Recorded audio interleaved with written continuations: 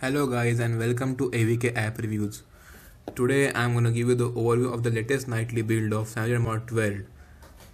Now the main feature of this build is it has theme engine included.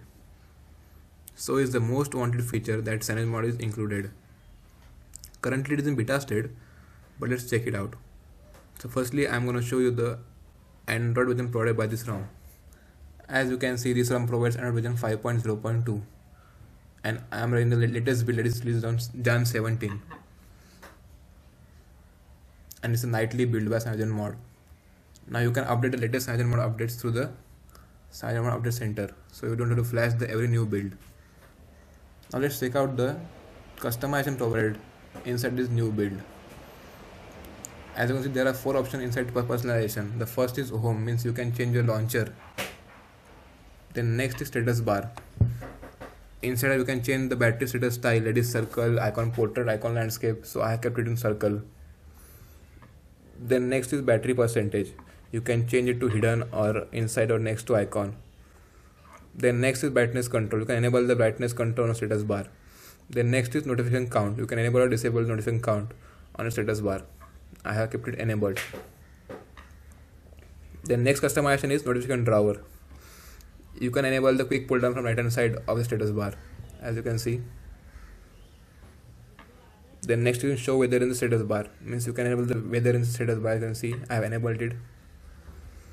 The next thing that is the most important thing included in this uh, build is quick setting panel. Means you can change the position of toggle inside quick setting. As you can see I have changed my toggle setting.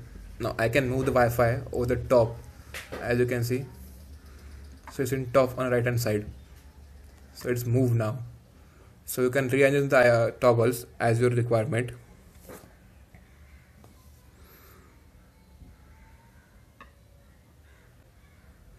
Then you can add only two other toggles that are given by CM mod. But in the next build it will be uh, changed. So they can add more toggles. Then next is you can uh, enable or disable the uh, enlargement of first row means now the first row is enlarged but you can disable it.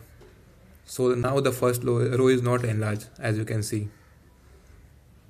Then next is advanced location setting. Means you can enable the advanced location setting in the quick toggle. I have enabled it so when you click on location it will show the advanced uh, settings. So it's a good option to have then next customization is the main option that is the themes. The, currently the theme engine is in beta state and the cm11 themes are not compatible with the cm12 themes. So they are adding more themes to the cm12 theme engine. Now the main inside the menu you can see there are tons of options to change the theme. That is the theme pack style icons fonts wallpaper lock wallpaper boot animation and sounds. But currently there is no theme available. But i have seen one theme that is on XDA developer. So i had downloaded it. It is material glass theme this theme is also in alpha state so it has only few customization. As you can see only style wallpaper lock wallpaper and notification. So i had to, so i will apply this now to show you how it looks. I will provide you the apk file of this theme in my description so you can check it out. Now the theme is applied. So only the wallpaper is changed and the quick toggle bar is also changed. Other things are same so the theme engine now is beta state. We will expect more themes and more customization in the next build. So thank you for watching my video and subscribe to my Google Plus channel for more updates. Thank you.